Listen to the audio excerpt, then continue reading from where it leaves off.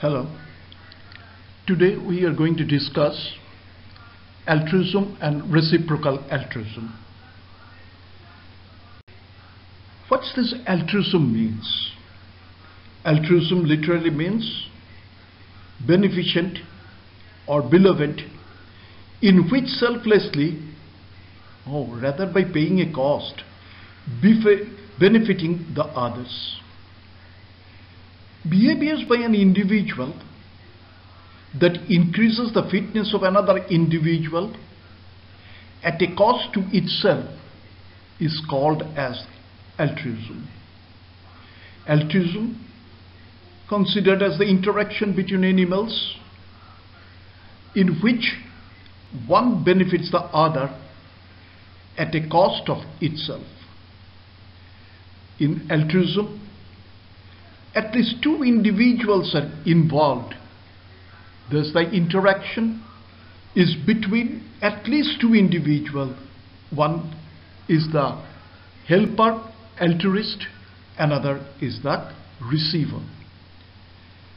In altruism, cost and benefits are measured in terms of reproductive fitness or expected number of offspring. So when we try to assess the effect of altruism, it is always how much offsprings are produced. That means how much a specific gene is being perpetuated or is being spread into the population or how much the frequency is being increased of a specific gene. The term altruism coined by Comte, it is as an antonym of egoism and literally means other people or somebody else. Now, altruistic behavior is partly influenced by genetics. Identical genetic material shows similar pattern of altruism.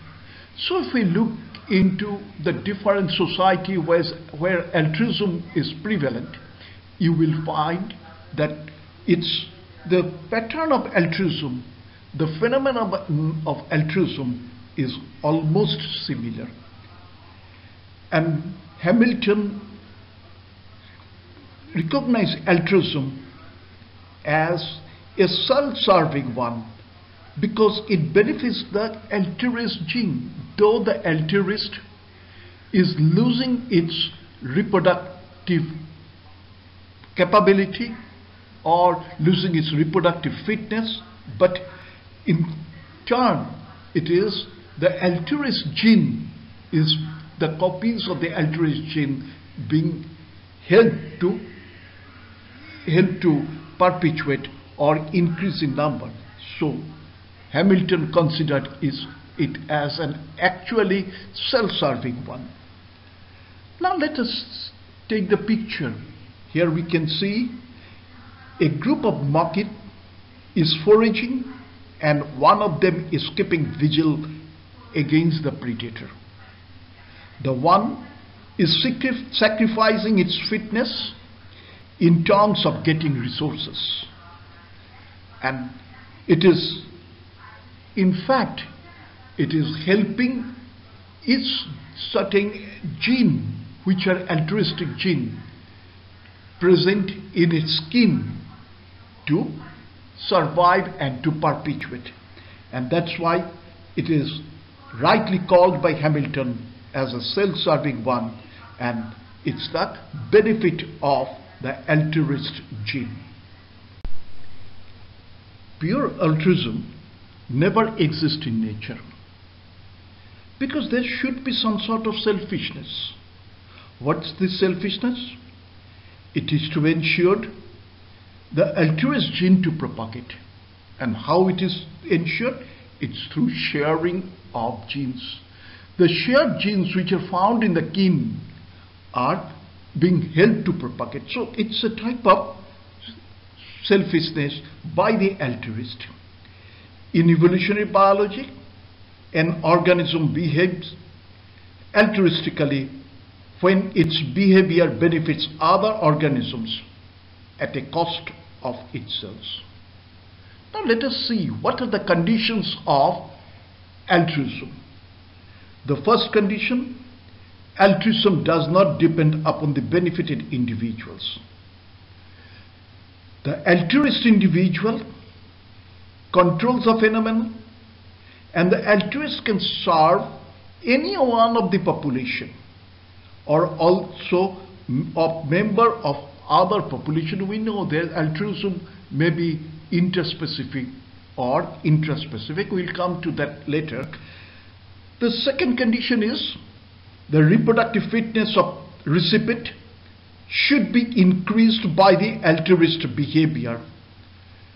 The recipient should be able to produce more offspring through which altruist gene can spread. And the third is the fitness of the altruist may be decreased. It is specifically referred to reproductive fitness being decreased. Altruism is of three types, as I said. It may be intraspecific or interspecies or reciprocal. Interspecies found in animals which live in group in society. In most animals like meerkat, ants, bees, buffaloes, we have seen in meerkat about sterile, uh, uh, in the example, we know about the sterile workers of ants and bees, and also in herds of buffalo, how the leaders and also the mother sometimes risking life encounter the predator to save their cubs and other members of the herd. So in case of interspecies, it's normally occurs between the individuals lives in groups. In interspecies, found among the individuals of different species. But in that case, it's not necessary that both of them stay together or have previous contact. Normally, altruist is powerful than that enemy. Mostly that's the predator so that it can save itself and also the other individuals. Dolphins have been observed to help humans and other dolphin species in distress. Monkeys, when see predators like tigers, leopard, etc., make warning call by which others like deer and other grazers are alarmed. The third type is reciprocal, where a receiver of benefit will return or reciprocate the benefit to the altruist. It's a special type of altruism and the benefit of the altruist will be returned maybe later and it is not mostly not immediate. For example, it is found in red-winged blackbird, which we will discuss later in course of our presentation. Few naturalists try to describe mutualism as an altruistic behavior. Now, there is very minor difference between mutualism and the altruism. Mutualism is indeed for self-profit, while altruism is self-directed. It's directed by the altruist, that is self-directed invitation of loss for benefit of others. So in mutualism, which, in which both the partners are benefited and it's the self-profit, and in case of altruism, it is the altruist is self, themselves or itself invited the loss for the benefit of the receiver. As well as there is some confusion regarding altruism and antagonism. In altruism, one is benefited, that is the, eh, that is the receiver at the cost of altruist.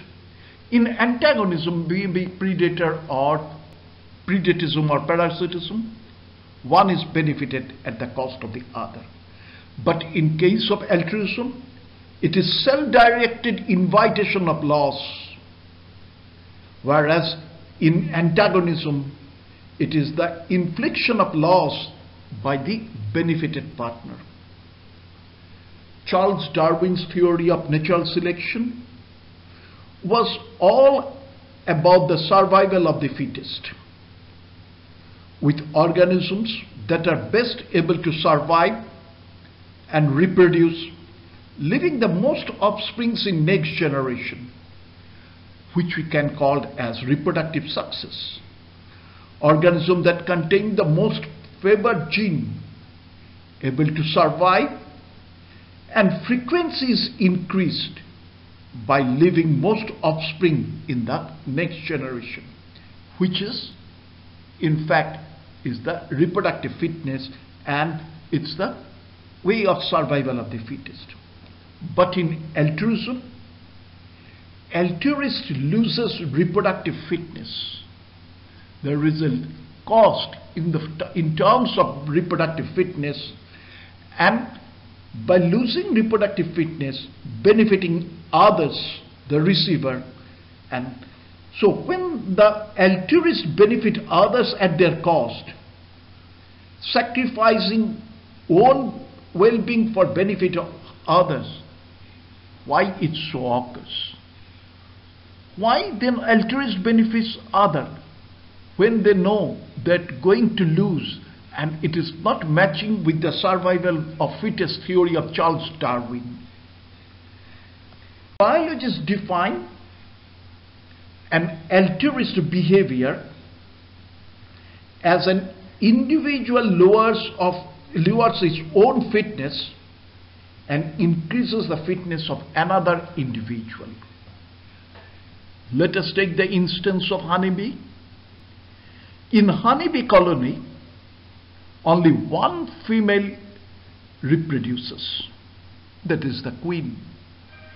The rest of the females, the workers, help by raising her offspring instead of producing their own.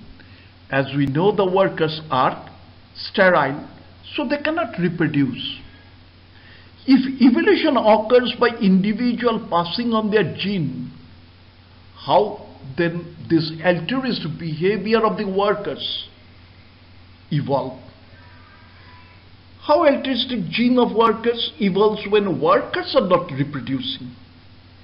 If an altruistic behavior lowers an individual fitness and evolution selects for individuals with higher fitness than others, how does the altruism evolve? That's the perplexed question being tried to answer and the solution came from the gene's eye view of evolution epitomized in selfish gene. Evolution is not really about the survival of the fittest organism, but it is about survival of the fittest gene with natural selection favoring genes that are best able to make copies of themselves in the next generation. Natural selection favoring genes that increases in frequency in the population. A special type of gene which is being proposed as hypothetical thought experiment in Richard Dawkins' 1976 book, The Selfish Gene, is called as the green beard genes. The green beard genes is a special type of gene and which has been proposed, proposed as explanation on the origin and perpetuation of altruism. Dawkins formulated a thought experiment which was originally conceived by Hamilton in 1964. Green beard gene which is being proposed as a hypothetical gene is actually a phenomenon, green-beard is a phenomenon where the individual with genes that produce unique observable traits select or favor or help individuals with the specific trait. It is also evident in human in favoring or helping individual of his own clan or family after recognizing the relatedness. Now in the picture you can see there's the individuals which are in the upper part which are green color helping the individuals having the green colors and that is green beard genes being recognized and those individuals which have these green beard genes are being favored. However, green beard not only always have to show altruism. If a gene is able to recognize whether it is present in another organism, it would gain an advantage by harming an organism that does not possess the gene. Here in the picture, it has been, they recognize that in the second part of this actually picture, the individual recognized the individuals without green beard and they are harming this, those individuals without green beard and thereby favoring others. It is this phenomenon has been recorded in soil bacterium Myxococcus xanthus, where a mismatch at the greenbeard genes causes individuals to inject a lethal toxin. To highlight how a gene for altruism could evolve, Dawkins forwarded Greenbeard thought experiment. He imagined a gene with three effects. It needed to cause a visible signal like a green beard. Number two, it needed to give the ability to recognize the signal in others. And number three, it indeed to able to direct altruistic behavior preferentially towards those showing the signal. Here we can take the example. In the first case it needed to cause a visible signal, maybe a language or culture in human. In Assamese society, we know Gamosa is being considered as identity of the Assamese culture. Recognizing a man with gamosa in a foreign country may be a signal. In second point, it needed to give the ability to recognize the signal in others. One who is from the same clan can easily be identified as signal as I have said in terms of gamosa. And in the third, it needed be, to be able to direct altruistic behavior preferential towards those showing the signals, helping the man with gamosa in the foreign countries over the others, knowing he or she may not have any benefit from this helping act. Dawkins and others viewed Greenbeard as just a fantasy due to unlikelihood of a single gene being able to possess all these three properties mentioned above. Despite seeming fantastical, there has however been an explosion of discoveries of real green beards in recent years. Here I have given an example that in fire ant it was discovered by Keller and Ross, in social amoeba by Queller et al. in budding yeast, Smukalla et al. in bacteria Pathak et al. in Microbial Eukaryotes, Heller et al. and again in a social amoeba by Gruenheit et al. Altruism in ants and bees can evolve if the gene causing altruism in the workers, that is the altruist, is helping another copy of that gene in another individual such as the queen and our offsprings. By doing this, the gene is ensuring its representation in the next generation even though the organism in which it is residing fails to reproduce. Now, how can a gene recognize if another individual also carries a copy of it? We have already discussed about the green beard effect. Another mechanism suggested is specialized brain processes evolve over time to allow individuals to discriminate among other members of the same species and this brain process help in identifying the genes. Most of the time a gene does not actually need to recognize copies of it. That means no need of green beard or brain process but only needs to help its kin. Because an organism knows that some portion of its gene, altruistic gene, is also being present. The same gene copy is being present in the genes. We know brothers and sisters share roughly around 50% of their genes.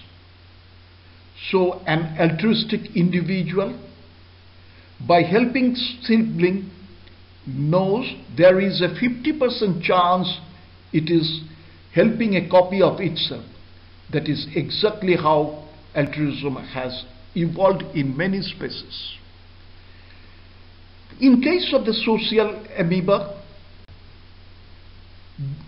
social amoeba Dictyostelium discoideum, a single-celled organism feed on soil bacteria. When there is lack of food resources, it responds by forming a group with thousands of other conspecific.